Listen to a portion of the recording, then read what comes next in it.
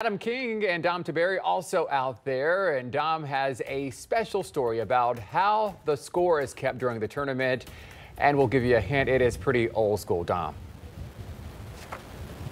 Yeah, it is old school. The uh, first round of the Memorial Tournament continuing here.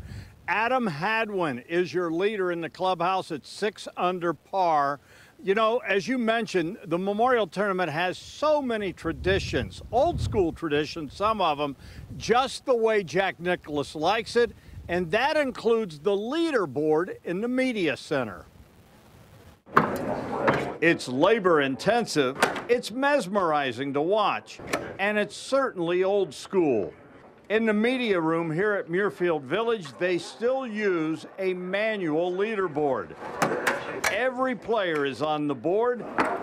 Every score is on display. All told, from start to finish, we'll have um, 14 a day. Yeah, 14 volunteers a day. So some just do one day and some do all the days.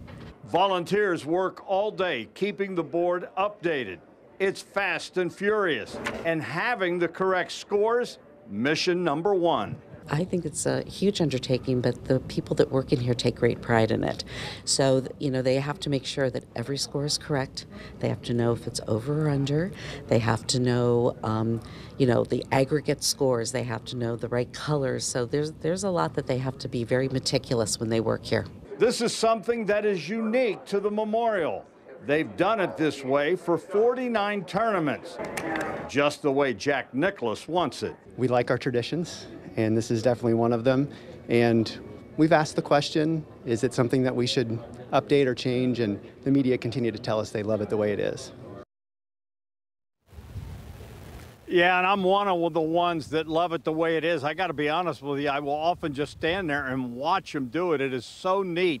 You know, it electronically comes in what the person did on the hole. They put it up, and uh, you know, you you look at all those names. There's 73 of them this year, and each name with a different score for each day for each hole.